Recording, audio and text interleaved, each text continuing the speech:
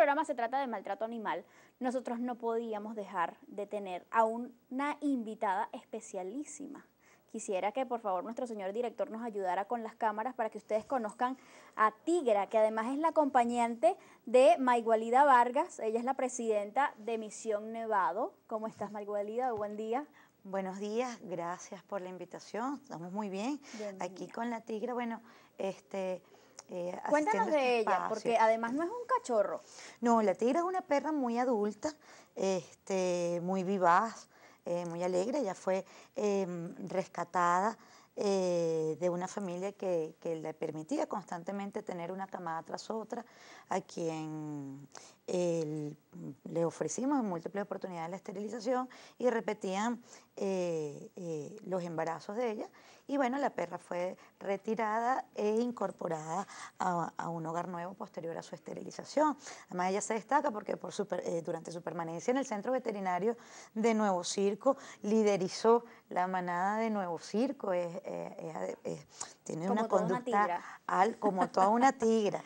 Y bueno, es una perra muy querida por por las personas cercanas a la misión Nevado, muy conocida, eh, jugó un rol muy importante en la crianza de sus cachorros y de otras camadas. ¿Por qué para ustedes fue tan importante hacer el rescate de esta perrita en específico, debido justamente a esa constante, ese constante proceso justamente de gestación al que ella estaba, digamos, expuesta? Fíjate, una de las cosas que se mencionaba en, la, en el segmento anterior era el tema de la esterilización. Eh, como Misión Nevado creemos que la única eh, estrategia o la principal estrategia para el control de los animales eh, domésticos en situación de calle, de la fauna doméstica en situación de calle, es por medio de la esterilización que evita la reproducción indiscriminada de perros y gatos.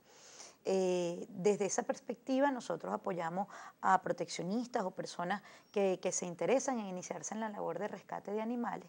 Y una de, las cosas que fomentamos es la esterilización.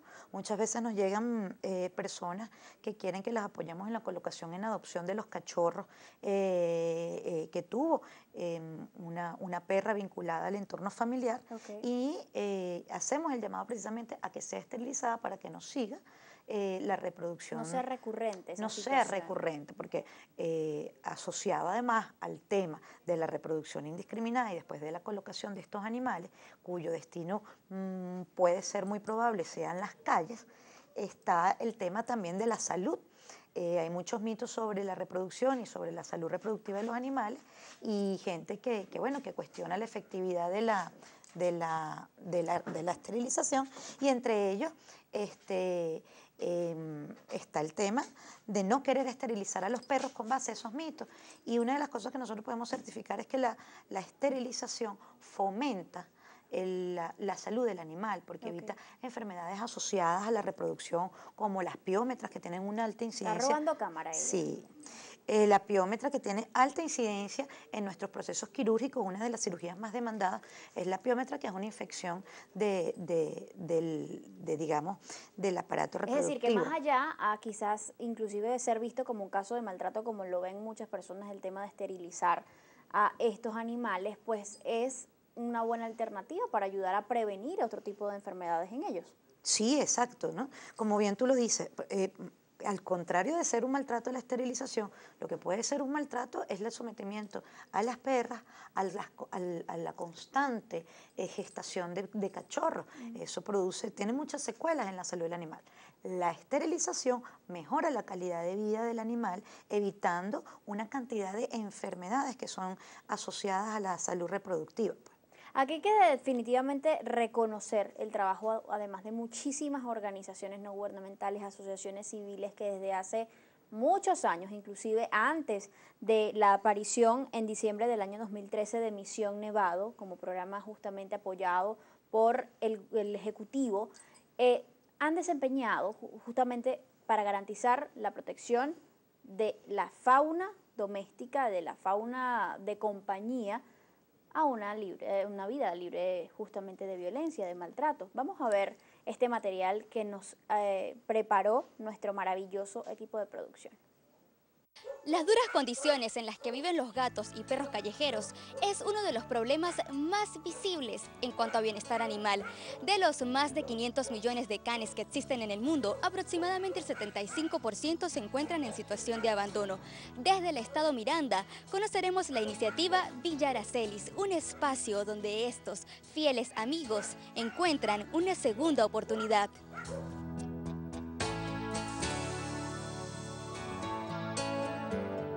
Hace ya nueve años rescatamos perritos en esta zona y le damos alojamiento. Nuestro, eh, Zula. Este, entre nuestro, nuestra idea es ser una asociación civil autosustentable y por lo tanto hemos desarrollado varios servicios que nos dan eh, los ingresos que requerimos para poder sustituir. Este, entre ellos tenemos el cementerio de mascotas, tenemos el alojamiento para perritos cuando las personas se van de vacaciones, tenemos el entrenamiento para las mascotas, para el buen convivir de las mascotas con la sociedad. Sin tratamientos ni educación sobre la tenencia responsable de mascotas, la cantidad de perros y gatos callejeros seguirá aumentando. En la calle, bueno, además de la desnutrición, eh, yo diría que lo que más los perritos de la calle y los gatos de la calle sufren es el maltrato por parte del humano. Muchas veces llegan perritos en hogares donde no debería haber habido perritos en un origen. la gente a veces se emociona por un cachorro y quiere que el, el sea feliz pero al final de cabo lo que trae es un problema para la casa y luego el problema lo viene pagando siempre el perrito, porque al final siempre que termina en la calle es el perrito y no, no las otras personas. La situación país también golpea fuertamente a los canes. Se nos ha hecho muy difícil porque nosotros aquí siempre le hemos cocinado comida, que es arroz y un embutido de pollo que aprovecho a darle las gracias al señor Henry que semanalmente desde hace años nos suministra esta proteína y le cocinábamos, pero últimamente hemos tenido problemas porque la gente consume lo que es el arroz picado, lo que era el arroz que antes usaban los perritos, lo viene consumiendo las personas. Entonces las agropecuarias ya no nos quieren vender la cantidad de arroz que requeriríamos, porque nosotros aquí normalmente en una situación normal gastaríamos un saco de 50 kilos, nos duraría de 2 a 3 días.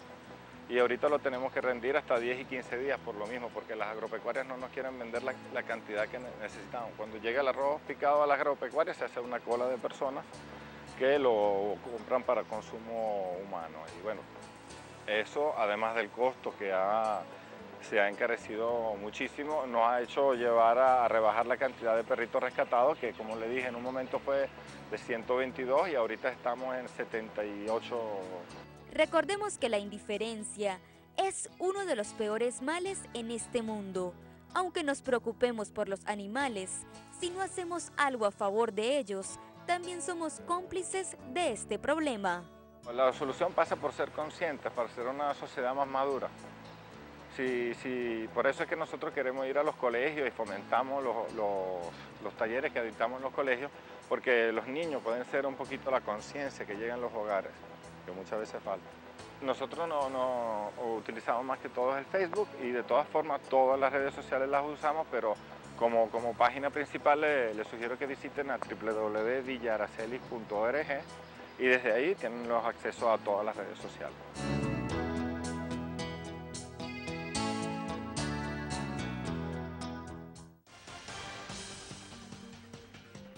Estupendo trabajo de nuestra compañera Francis Gámez, a quien le agradecemos por su valiosísima colaboración.